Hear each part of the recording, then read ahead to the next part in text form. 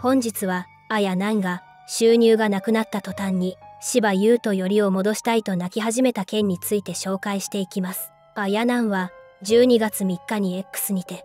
12月になったということで勝手に近況報告日記。現在の私たち家族はというとあやなんポンスプクマルは東京旦那は岡崎で暮らしています。頻繁に会ったりはしていません。私は子育て一人きりじゃできないタイプなので家族を頼って友達とかにも来てもらって手伝ってもらったりしながら取り組んでます。周りの人に甘えて助けてもらう才能だけは高いので日々周りにいてくれる人に感謝しています。敵意や嫉妬を向けられて邪魔したり嫌味言ってくるような身近な人間に宣戦布告して決着をつけられた今の自分は大衆の目にはどう映ってるかなんて知る由もないけど自分自身超すっきりしてるしそこに関して後悔は一切ありません。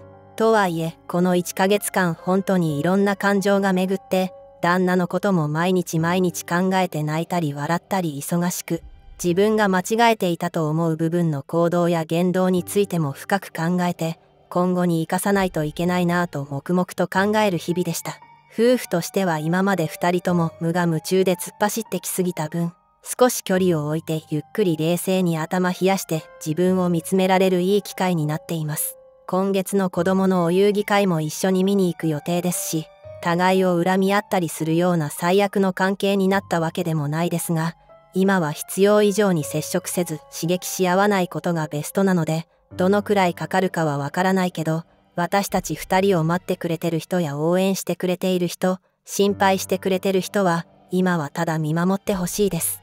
本当にありがとうございます。余談ですが、今は収入もほぼなくて貯金を大切に使いながら生きてるんだけど、もともと節約するのが好きなので、スーパー行って鶏肉高いなドンキの方が安く買えるなとか考えながら買い物するのが最高に楽しいです。あと私が今一人で考えていて心底思うのは、お金や人気や知名度なんて大して価値があるものではなくて、それよりも自分に合った人間関係の中にいたり自信を持って過ごせる環境に身を置くことの方がよっぽど価値のあることで幸せなんだなと感じています。今を生きている全ての人たちに少しでも自分の本音や直感を大事にする生き方をお勧めしたいです。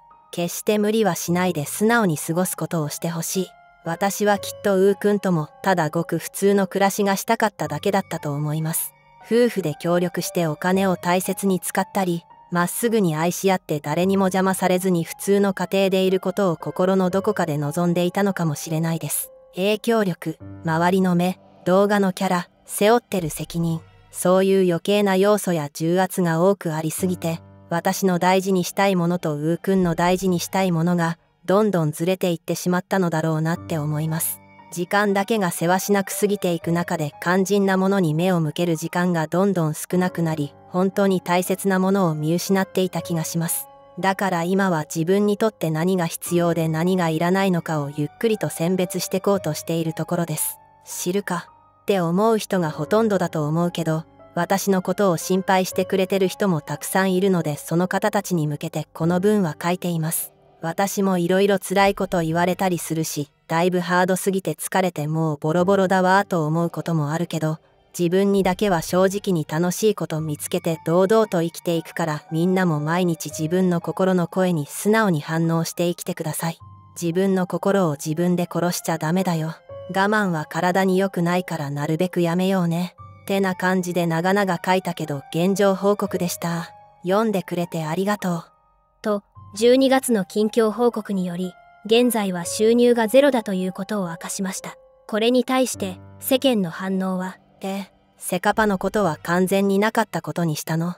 ちょっと意味わからなすぎて怖い。あやなんて中の人何人かいるの。離婚してくれないと今後困ります。東海にこれ以上迷惑かけないで。あやなんポスト。奥インプ芝なん収益あるはずなのに無収入発言も普通の暮らしがしたかった発言も胸くそ悪い。皆を巻き込んで大事な10周年と芝優の心をぶち壊しておいてまともな謝罪もなくガチで最悪。このまま離婚しなかったら東海オンエア応援できないぐらい不愉快。ようやく。旦那とは別居中。子育て能力ないから他人に頼んでる。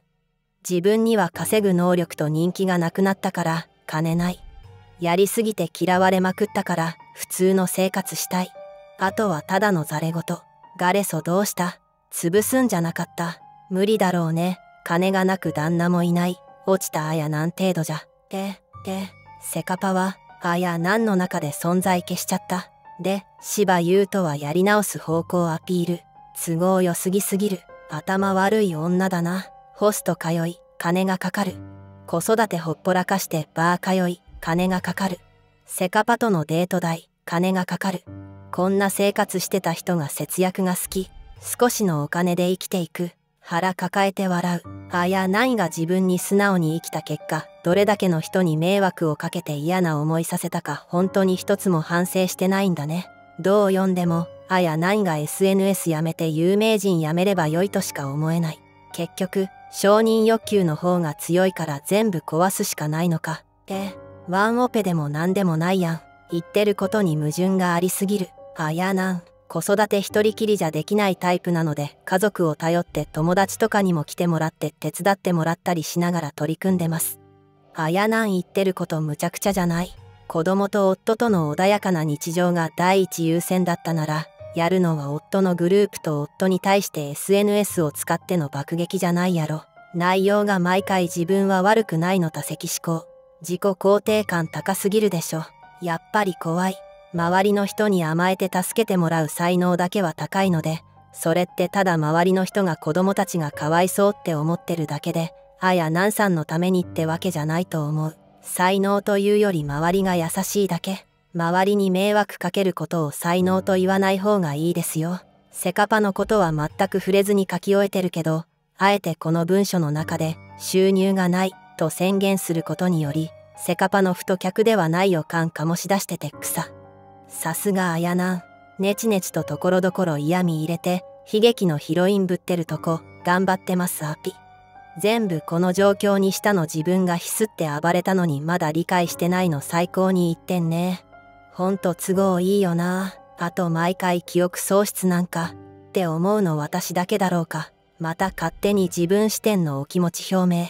学ばんね。芝優と東海から報告あるまで。あや何の言葉なんてほとんどの人信じれない気がするけど何年も養育者の間をキャッチボールされまくって毎週新幹線移動させられてとうとう父に週末も会えなくなった子供たちのメンタルよ。あや何の怪我や病気アピールは大体虚言なんで真に受けないようにしましょう。本当にまずいことに関してはいつも何も言わない。これだけ長文でもガレソの件とかする。相変わらず自己中発揮してるな我慢は良くないってのはわかるんだけどあや何の場合我慢は身につけた方がいいと思うけどね。好き放題言いまくった結果がこのざまなんだからさ。収入ないってセカパの金払ったから金がない説ある。でもそれだと貯金切り崩せないよな。誰の貯金？あやなん。普通にすごいと思う。炎上商法でここまで成功した人いないのでは？